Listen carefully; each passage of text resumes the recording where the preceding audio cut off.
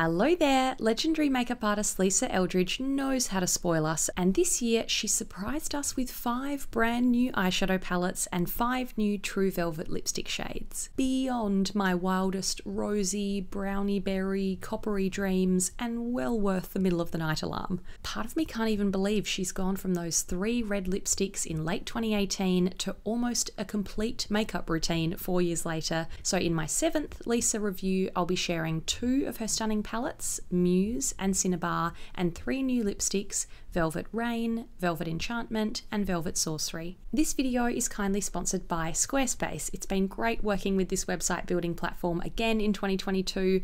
If you don't know where to start now that Lisa's range has grown so much, you can find my favourites in a blog post on matildaonvideo.com. Everything Lisa does feels elevated, elegant, innovative, and considered, and the eyeshadow palettes are no exception. This is not the first Lisa Shadow launch. Her sparkly liquid Lurex liquid eyeshadow tubes arrived late last year. Love those, so perhaps I'll share a separate review if you're interested. The aesthetic of these slim gold palettes matches Lisa's passion for vintage makeup. The curves and grooves look like something that could have been on my grandma's vanity. Luckily, they're deceptively lightweight with a mirror inside, cruelty free, talc free, and microplastic free. There are five curated colourways. Sorcery sold out first in playful greens. See my green nail polish video if you'd like to match.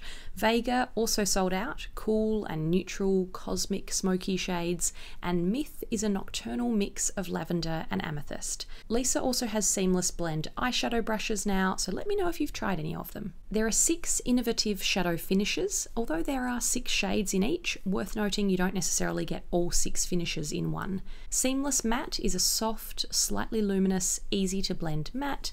Velvet is such a smooth, creamy matte, it feels more like a cream shadow.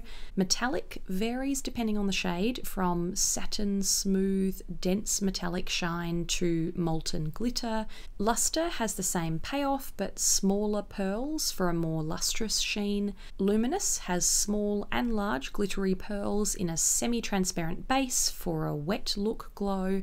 And Top Coat is a completely clear with sparkling pearls, perfect for a more subtle accent of glitter. A standout feature is that these palettes are not just refillable but customizable, with 30 shades sold individually so you can swap them in and out and personalize it. No empty palettes for sale though, you do have to purchase an existing combination, then make substitutions. I had a bit of a practice when I realized my muse was out of order compared to the image online. Doesn't matter, but just made it a bit confusing trying to get my head around the shade names and finishes. I used a bamboo skewer through the little holes in the back. The magnetic pans pop up on one side so they're easy to remove and even easier to pop back in. No shade names on the back though, bit of guesswork involved. Four out of five palette names have corresponding lipsticks, so Muse was inspired by one of my favourites, Smoky Rosewood Velvet Muse. It's described as a painterly, washed world of romance in rosy hues from soft vintage pinks to warm plum browns. Exactly what I want as a pink, rose, plummy shadow person. Tea Room, a velvet, is a soft pink apricot. Tomorrow's Party, satin metallic, is a burnished warm rose. Vintage Mulberry, velvet, is a deep plum brown. Love in Venice, luminous, is rose gold. Cherubim Velvet is a muted clay pink. And Taffeta Fan, a luster, is a delicate pearly champagne. Now, arm swatches for eyeshadow are not necessarily a fair indication of how a powder will perform on the eyes using a brush, but oh, don't these swatch so smoothly and evenly? You know they're going to be good. Not the most pigmented shadows, but considering Lisa's whole approach and the way she designs with her fans in mind, that wasn't the plan. This is not a made by a makeup artist palette that requires makeup artist level skills.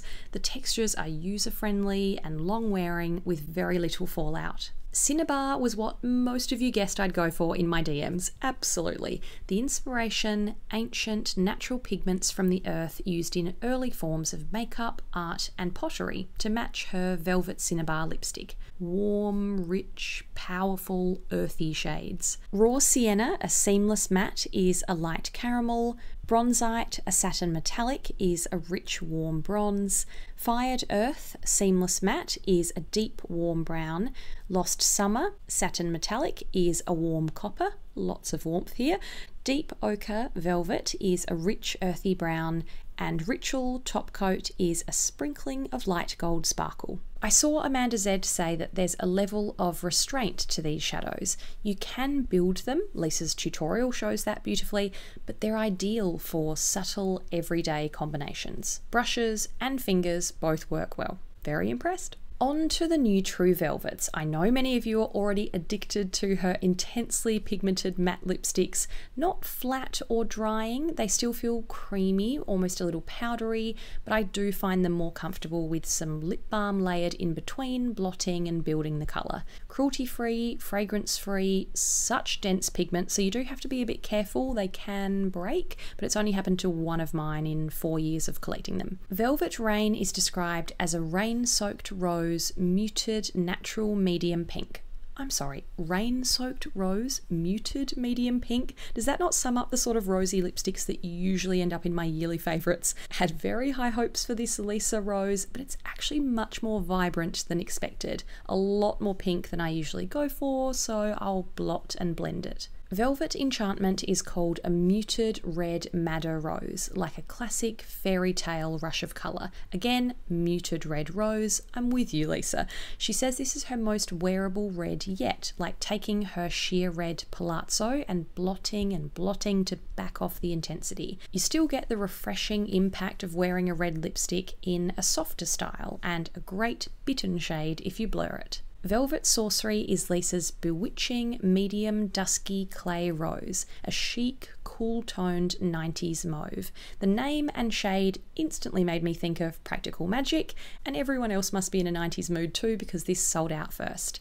A light layer is stunning. Darning, my lips, but better on a cold autumn day. This rosy brown is definitely related to Velvet Muse, like its moody older sister. The other new shades were Velvet Pompadour, a lively medium pink, and Velvet Duchess, a decadent garnet red that I resisted for now given the state of my red lipsticks. Most of you asked me about that shade, but I want to hear how you'd rank it compared to other Lisa reds. Sadly, not comparing these to the rest of Lisa's range today. I need to save my skin ahead of end of year favourites season, but please let me know if you'd be interested in a separate big Lisa lipstick comparison in the new year. If you're new to the wonderful world of Eldridge, you can read up on my favourite products in a blog post on matildaonvideo.com. I built my website using a Squarespace template and it's been such a pleasure to partner with them again this year. I'm very grateful for their support and very grateful that they make it so easy for creatives to get set up with a great site. Simple tools, cool templates, I can insert links and YouTube videos seamlessly, and I think I need to revisit this ranking because Velvet Sorcery might need a spot in my top 10.